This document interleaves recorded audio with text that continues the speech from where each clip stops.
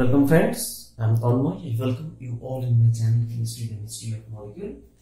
So today we will discuss actually unbelievable chemistry. It's uh, actually we will discuss about sulfuric acid. It's a super acid, organic super acid, and most importantly, CH bond is acting super acid. This is the part for means confusion, surprise, or you can say it's wow, CH bond acting as a super acid. So we will learn about its preparation and why this is extremely acidic. Okay, so let's start. So as you can see, super acid. What is mean by that? Super acid means more acidic than 100% pure sulfuric acid. This is the definition of a super acid. Okay. So in this direction, uh, so it is most, it actually it is stronger than sulfuric acid. Means in second step we can say it is stronger than sulfuric acid. No problem, fine. Question comes, CH bond containing molecule, why it is so much, why it is stronger than sulfuric acid. So, if you see sulfuric acid, it is like this. OH, OH, for example, let's see, this is H plus and this is O minus. How it is stabilized? Because this delocalizes in this way, one in this way, in this way. There are canonical forms. So, in this way it is stabilized. But then how it is stabilized? So, if it releases one proton, so it should prepare this H plus plus this is C SO2 CF3 minus thrice carbon. This is very acidic means this is highly stabilized. So this is highly stabilized. Stabilized. Question is why? I will explain. So this. So before going to details, okay, this is an, another important example which is triflic acid. Triflic acid. Don't make confused. This is triflidic acid. This is triflic acid. What does it mean? CF3 SO2 OH means trifluoromethane sulfonic acid. Trifluoromethane sulfonic acid. Difference this CF3. This this acid is stronger than the sulfuric acid because of the withdrawing effect of CF3 the corresponding O minus is stabilized. This is also a superacid. And actually, prussic acid is 10 to the power 4 times stronger than triflic acid. Okay, so actually this this is TfOH triflic acid. so this is the in, this is the interesting thing. So means there are few striking points appears in mind. First of all, CH bond. Second of all, stronger than this OH because if it, it uh, eliminates proton, what it produces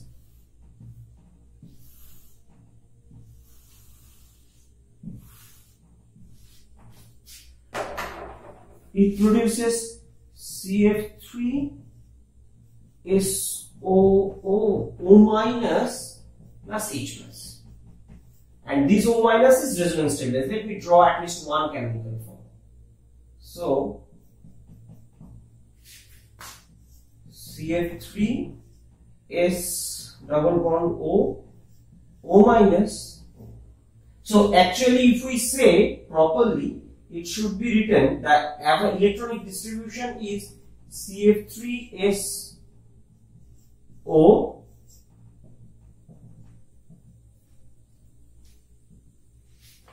So the negative charge is distributed from 3. So this is. And this withdrawing effect makes it special than sulfuric acid. Fine. So this is question how. So that we will explain just sometimes later. First let's discuss about the synthesis. So this is the background. You got it? Why we should learn this chemistry. Okay. So now let's discuss about the synthesis. Or you can say preparation.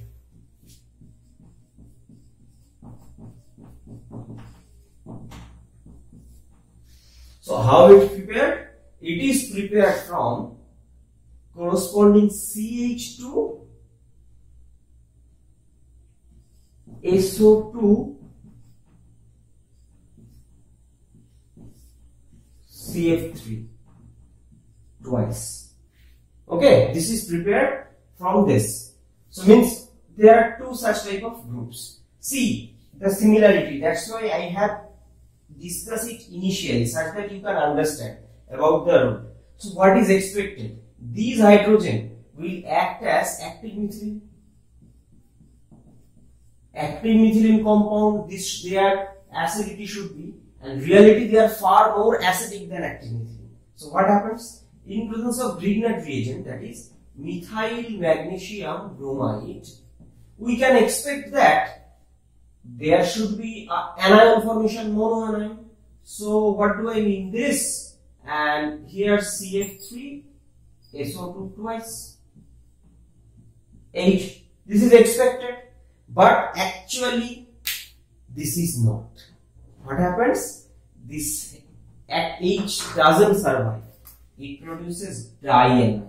Okay, 2 minus plus 2 methane.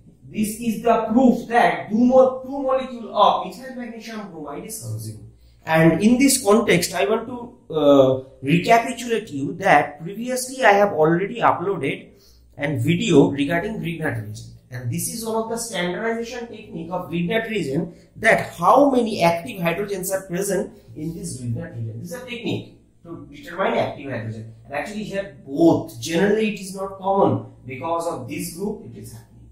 So here along with that 2 magnesium means 2 magnesium Br. Magnesium is 2 plus but one there is also a bromide. So that's why this MgBr unit contributes 1 plus positive charge. Fine. Okay.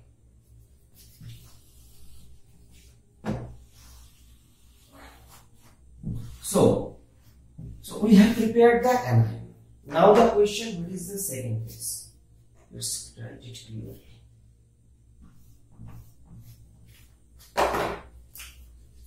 Two MgBr. Okay, okay.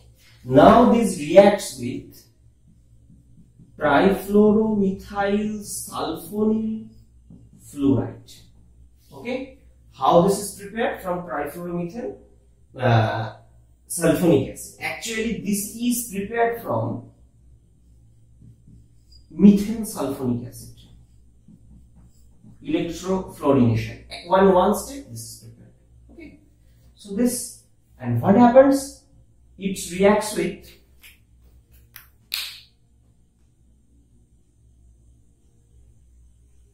Okay.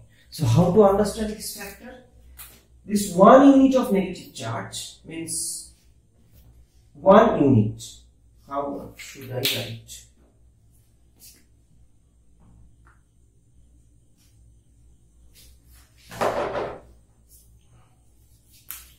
This is 2 minus. This carbanion attacks here. So addition elimination, so it will open first, it will come back, fluoride will be. So what is the product? This carbon attached to 3 SO2CF3. SO2CF3 similar. So I am not writing. SO2CF3 and that is the reason another negative charge is there. So in this negative charge is resonance stabilized in this way. So this is highly stable. But I was telling this, this is highly stable. So how it prepared? This prepared in second step by this prepared in second step by acidification with sulfuric acid. Okay, acidification with sulfuric acid. Right here. So you may expect that why since sulfuric acid is weaker compared to this, from a weaker acid why a stronger acid will prepare? Fine. In first step what is expected that if it's react then this magnesium bromide part, this magnesium will be precipitated. But if this precipitate corresponding counter ion, there must be H plus plus this C minus SO2CH3. Fine, but this is not still pure. Okay, and in the medium there is also sulfate. The sulfate, since sulfuric acid is there, there should be some sulfate. So what happens to this medium? Barium 2 plus salts added. Okay, if you add barium 2 plus selectively, this sulfate will be precipitated and whatever will remain in the medium that is this tetrahydric acid and that is purified separated using organic solvent and purified. So in this way we got this pure tetrahydric acid. This is acid.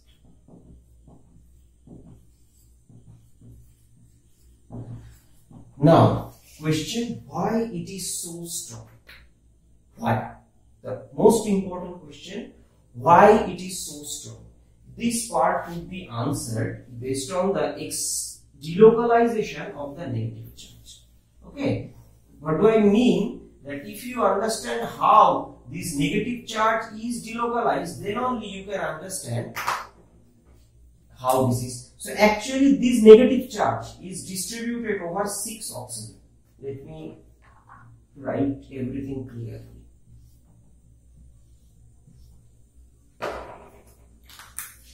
So this is, so let's consider this is, this is, this is, this is, this.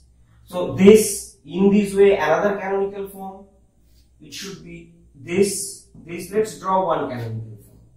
So C, this is S, O minus, double bond O, CF3, and rest are same.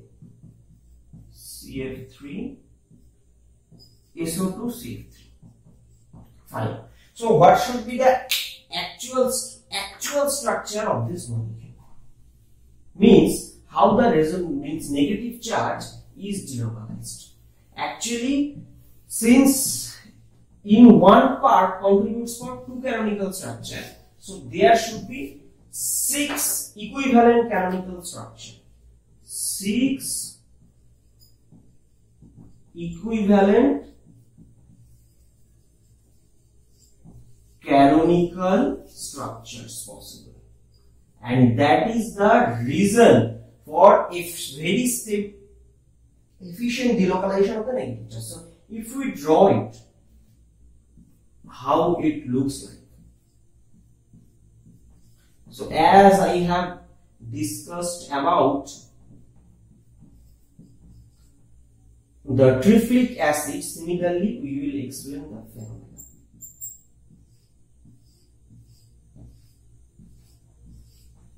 Okay, so negative charge actually distributed here, here, here. Means no bond is actually single bond, no bond is double bond. So in this way, you can say the charge. Let's consider that one sixth in this way negative. Or better to say better write negative. That is more logical. So negative negative negative negative negative negative. So what's happening the charge is dis, dis, mm, delocalized over electronegative electronegative oxygen electronegative oxygen atom. That is the reason this is so, so, so much stable. Okay. And it is so much stable that even it doesn't want to go back. So, generally what we believe? A superacid. What we believe that a CH bond. It's a, it means when we say it's a CH bond, it's a molecule having extremely acidity and another thing, it's a solid at room temperature. So, if a CH bond containing molecule, why would be this much? Because if you consider its simplest carbon analog, which is nothing but methane. This, this, this, or let's consider a realistic example that is butane. This C3H7. Okay. No. C4H10. Yes, it is right. C3H7. Fine. So, if you think that it gives one electron, it remove, it releases one electron and produces, it releases one electron and produces the corresponding carbanion, carbon ion and H plus. Will it be stable? No, extremely unstable. Why? Because I have discussed about previously in my video butyl lithium. Butyl lithium, Bu minus Bu minus and lithium plus. It is one of the strongest base. Why? This carbanion is unstable. So, now here carbanion is extremely stable and that is the design. That is the design and I should give the credit of the people who designed this molecule. How? The introduction of this electronegative, uh, introduction of these electronegative atoms in a conjugated fashion such that the produced negative charge would be delocalized over this. So this is the overall activity of this uh. Okay. So this is the end of this discussion. So we have to have learned, we have learned about how a CH bond means again I say CH bond acting as a superacid. Answer proper introduction of the proper design to introduction of electron withdrawing group this CH3SO2 attached to a carbon results in the formation of this superacid. I believe such type of videos are not important for exam but such type of videos are important to satisfy the hunger and curiosity of your mind about. Is it possible? Really? Could be. These are the, one of the extreme examples. Okay. So, if you like my teaching, I request you please share this video among your friends so that many people could be benefited. And in future, I shall also try to make some videos for you. So, till now, stay happy, stay blessed. See you in my next video.